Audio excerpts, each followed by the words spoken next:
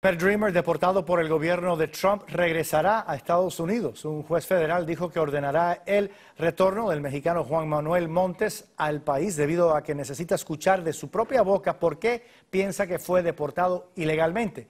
Los abogados de Montes aseguran que el joven no debió ser expulsado ya que estaba protegido por DACA. El juez del caso, Gonzalo Curiel, quien tuvo a su cargo una demanda contra la Universidad de Trump, lo que provocó que el entonces candidato lo acusara de parcial por su ascendencia mexicana, a pesar de que el juez nació en Indiana. Así es, bueno, esta mañana desde las 8 de la mañana la prensa fue permitida entrar a, a la corte aquí en Brooklyn, al sur de Manhattan, y